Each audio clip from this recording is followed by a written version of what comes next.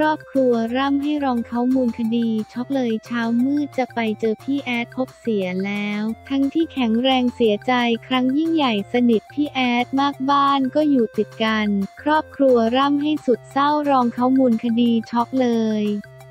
เช้ามืดก็บอกกับพี่แอดว่าเดี๋ยวจะไปเจอกัน ปรากฏไปพบพี่แอดเสียชีวิตทั้งที่แข็งแรงเพราะรองเขามูลคดีศิลปินแห่งชาติปี๊บสอสาลา 2560 กล่าวถึงการจากไปของพระเอกตลอดการ แอดสมบัติเมธนีศิลปินแห่งชาติประจำปี 2559 ช็อกไหมกับเหตุการณ์เช้านี้ ช็อกเลยจริงๆกำลังนั่งคุยกับลูกๆอยู่ว่าทำไมพักนี้คนหลับตายเยอะภรรยาเพื่อนก็หลับตายเมื่อเช้ามืดก็บอกกับพี่แอดว่าเดี๋ยวจะไปเจอกัน ไปมาปรากฏว่าพี่แอดเสียแล้วเป็นการเสียใจครั้งยิ่งใหญ่ เพราะว่าเราสนิทกับพี่แอดมากแล้วบ้านก็อยู่ติดกันด้วยถามว่าก่อนหน้านี้พี่แอดมีท่าทีว่าจะไปไหม ไม่มีเลยพี่แอดแข็งแรงกว่าเราอีกเราก็ไม่รู้ว่าเป็นเพราะอะไร ตอนนี้ก็ยังคุยกันไม่รู้เรื่องกับทางครอบครัวพี่แอด เพราะเขาร้องไห้อย่างเดียว คือครอบครัวเขารักกันกลมเกลียว พ่อแม่ลูกเขาอยู่ด้วยกันตลอด การนอนไหลตายมันเกิดขึ้นได้ในช่วงวัยนี้ มันไม่เกี่ยวภรรยาเพื่อนเราก็ไปตอนอายุ 30 ปี บางทีมันอาจจะเกิดจากอาการเหนื่อยง่าย แล้วเราพักผ่อนไม่เพียงพอก็เป็นได้ มันหลายอย่างอาจคือโรคอย่างนี้ต้องให้หมอวินิจฉัย เราก็ได้แต่เดากันนะ ราะพี่แอดก็ไม่น่าจะเหนื่อยอะไร เพราะงานแกก็ไม่ได้ทำแล้ว ตอนนี้พี่แอดเขาอายุ 87 ปีห่างจากพ่อรอง 11 ปี ความสัมพันธ์ในอดีตสนิทกันแค่ไหน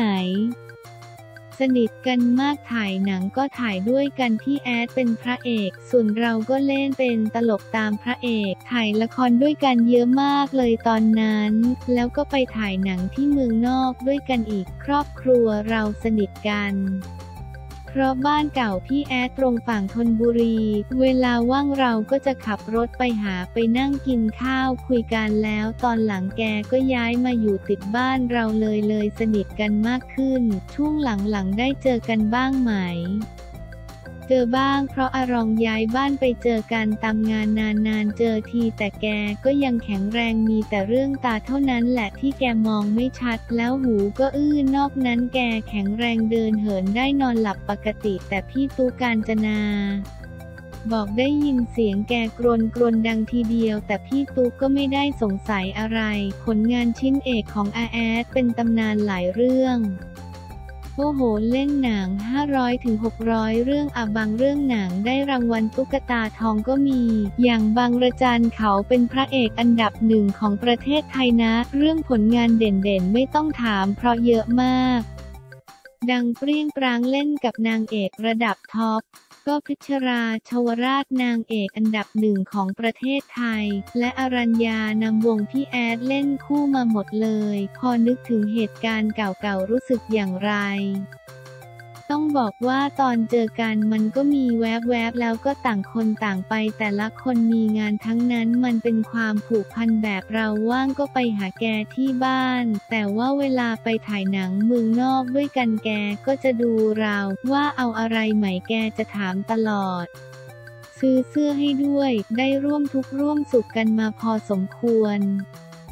ได้ใกล้ชิดกันเวลาทำงานเท่านั้นเองทำคุณงามความดีไว้เยอะจนได้รับรางวัลศิลปินแห่งชาติปีพศ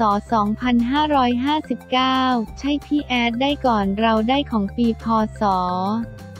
2560 พี่แอดเขาเป็นคนดีแกมีน้ำใจไมตรีกับทุกคนหมดเป็นคนสนุกเฮฮาไม่มีอะไรผลงานแกก็ดีเด่นความอาวุโสแกก็ถึงเลยได้เป็นศิลปินแห่งชาติ ถามถึงกำหนดการชาปนกิจ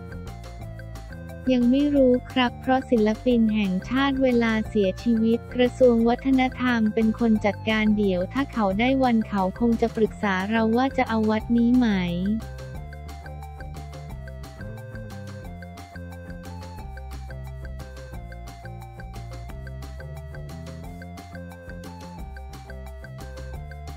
ดราม่าร้อนน้ำตาล vs มาดามแพงนางงามไม่ไหวทำเดือดขอบุกบ้านเคลียร์ดราม่าร้อนน้ำตาล vs มาดามแพมหลังโพสติงนางงามท็อปหกหมื่นไม่ไหวด้านน้ำตาลโต้เดือดมาเม้นรัวๆ พร้อมเคลียร์ความจริงกำลังเป็นดราม่าร้อนๆ ของการปะทะกันระหว่าง มาดามแพมช่างแต่งหน้าสาวสองชื่อดัง กับน้ำตาลชลิตานางงามสาวหลังมาดำแพงอ้างว่าเจอกันในงานแล้วไม่ไหวจนน้ำตาลถึงกับออกมาโต้เดือดขอที่อยู่จะไปเคลียร์ถึงบ้านเลยทีเดียว จุดเริ่มต้นดราม่านางงามไม่ไหว เรื่องราวเริ่มจากมาดามแพมได้โพสต์ในเฟซบุ๊กว่า วันนี้มาออกทีวีเจอนางงามท็อป6ระดับโลกเขารู้จักทำเป็นไม่รู้จักชีวิตมาดามแพมน่าสงสารคำใบ้ดังกล่าวทำให้ชาวเน็ตพุ่งเป้าไปที่น้ำตาลชลิตา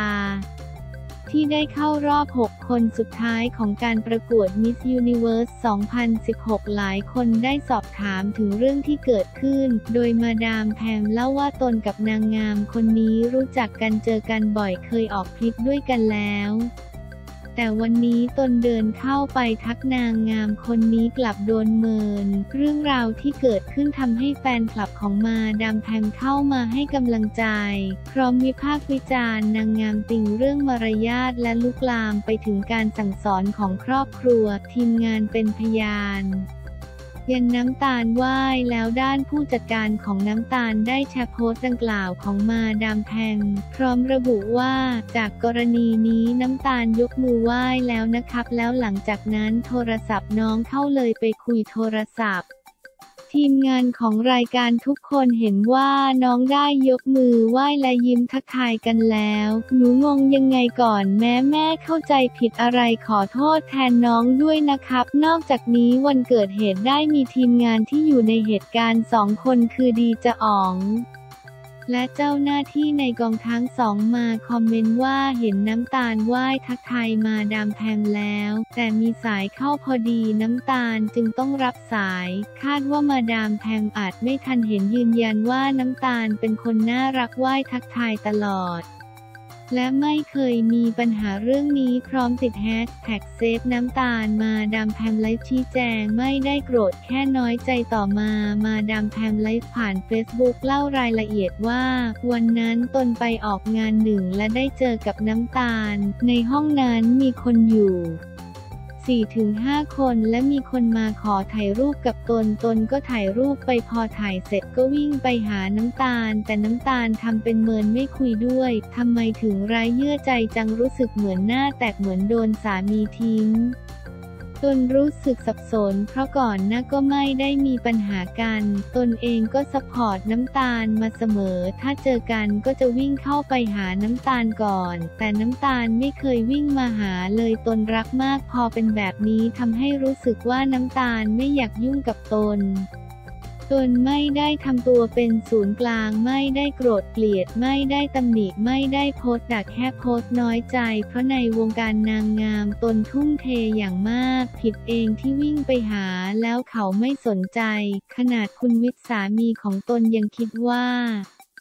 ตนไปทำอะไรให้น้ำตาลโกรธหรือเปล่า และขอให้ทุกคนอย่าไปถล่มน้ำตาล ตนเป็นฝ่ายผิดเองที่วิ่งไปหาเขา น้ำตาลเมนโต้รัวรัวๆรักกันจริงต้องไม่ทำนี้งานเข้าขนาดนี้น้ำตาลไม่อยู่เฉยเข้ามาคอมเมนต์ในไลฟ์ของมาดามแพมรัวๆว่ายกมือไหว้มาดามแพมแล้วอยากรู้ว่าไม่ไหว้ตอนไหน ยกมือสวัสดีแล้วแต่มีผู้ใหญ่โทร เข้ามา ขอเคลียร์เรื่องนี้กับมาดามแพงโดยตรง พอทีมงานโทร ไปมาดามแพงก็ไม่รับสาย วอนอย่าใส่ไฟขอร้องอย่าสร้างดราม่าเลยบอกคนอื่นอย่าทำร้าย แต่ตอนนี้มาดามแพงกำลังทำร้ายตน ถึงขั้นถามที่อยู่บ้านเพราะจะขับรถไปเคลียร์เลยทีเดียว น้ำตาลโพสแจงลั่น ถ้าตนมีปัญหาเรื่องไหวจริง คงอยู่ในวงการไม่ได้ต่อมาน้ำตาลได้ออกมาโพสเฟซบุ๊กว่า ตนไม่แน่ใจจุดประสงค์ในการโพสต์ครั้งนี้ของมาดามแพมแต่มันทำให้คนอื่นมองตนไม่ดี ถ้าตนมีปัญหาเรื่องการไหว้คงอยู่ในวงการไม่ได้ ทางบ้านก็สอนเรื่องมารยาททีมงานก็เห็นผู้จัดการก็เห็นแต่ตอนนั้นมีโทรศัพท์ผู้ใหญ่เข้ามาก็ต้องคุยยาว กลับมาก็ไม่เห็นมาดามแพมแล้วตอนนั้นมีถ่ายรายการต่อพอถ่ายเสร็จก็เห็นดราม่าทีมงานก็โทรามาดามแพงแต่มาดามแพงไม่คุยมาดามแพงย้ำเสมอว่าเข้าหาน้ำตาลด้วยความรัก แต่คนรักกันไม่ทำกันแบบนี้เราก็ไม่ได้สนิทอะไรกันครั้งหน้าก่อนโพสต์ก็ขอความจริงด้วย จากนั้นมีคนมาบอกว่ามาดามแพงเป็นโรคซึมเศร้า ให้อภัยมาดามแพงด้วยซึ่งน้ำตาลก็บอกว่าถ้าเป็นซึมเศร้าจริงๆ ก็ไม่น่าทำร้ายคนอื่นแบบนี้ด้านคุณวิทย์สามีของมาดามแพงได้เข้ามาขอโทษในโพสต์ของน้ำตาล โดยบอกว่าตนก็ผิดที่ยุยงให้ภรรยาโพสต์และไลฟ์ ตนกับภรรยารู้สึกผิดมากต่อไปจะใช้โซเชียลอย่างมีสติและจะไลฟ์ขอโทษน้ำตาลอีกครั้ง มาดามแพมสามีออกมาขอโทษต่อมา มาดามแพมได้ออกมาโพสต์ยอมรับผิดว่า ตนคือคนผิดและทำตัวไม่เป็นผู้ใหญ่เอง จนทำให้หลายๆ คนเดือดร้อนโดยไม่ได้คิดไตร่ตรองว่าตอนนั้นน้ำตาลอาจจะติดธุระอยู่ พร้อมกับขอโทษน้ำตาลที่วิ่งเข้าไปหาตอนกำลังทำงาน แต่ที่ตนเข้าไปหาเพราะความรักขอโทษที่ทำให้ไม่สบายใจ ตนจะพิจารณาตัวและปรับปรุงพฤติกรรมของตัวเอง และขอบคุณทุกคนด้วยที่ช่วยเตือนสติ ด้านคุณวิทย์ก็บอกว่าปกติมาดามแพมเป็นคนอ่อนไหวปากร้ายแต่ใจดี แต่ทว่าหลังจากมาดามแพมเป็นบุคคลสาธารณะ ก็มักจะสะสมความเครียดเอาไว้ เพราะมาดามแพมคิดเสมอว่าไม่อยากทำให้คนอื่นผิดหวังเลยทำทุกอย่างแบบเต็มที่และคาดหวังสูง จนกระทั่งกลายเป็นความกดดันมีอารมณ์แปรปรวน หลายครั้งก็ทำร้ายตัวเองและไม่อยากอยู่บนโลกนี้ โดยมาดามแพมพยายามปรับเปลี่ยนตัวเองเสมอ แต่ในเวลาเดียวกันก็เหมือนเป็นคนที่แบกระเบิดเวลาเอาไว้ หากมีอะไรมากระทบนิดเดียวก็พร้อมแตกจนในที่สุด มาดามแพงก็ไปหาจิตแพทย์และทราบว่ามาดามแพงเป็นซึมเศร้า ซึ่งตอนนี้ได้รับการรักษาอย่างถูกต้องแล้ว ตนและมาดามแพงได้อ่านคอมเมนต์ทั้งหมด และตัดสินใจว่าในอีก 3-4 วันจะกลับไปหาจิตแพทย์อีกครั้ง เพื่อที่ไม่ให้เกิดเหตุการณ์ใช้อารมณ์และสื่อไปพาดพิงใครอีก โปรดอย่าสงสารที่ตนต้องอยู่กับภรรยาที่มีอารมณ์แปรปรวน แต่ให้สงสารหากตนไม่มีภรรยาอยู่ข้างๆแทน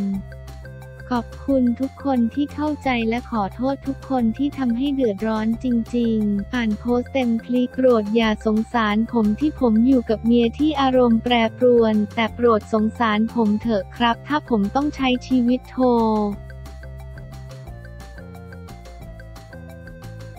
าผมต้องใช้ชีวิตที่ไม่มีแพมเดินข้างๆ อีกต่อไปชีวิตผมคงไม่มีความสุขน่าดูขอบคุณทุกท่านที่เข้าใจตักเตือนให้สติและขอโทษทุกท่านที่ทำให้เดือดร้อนจริง ๆ ครับ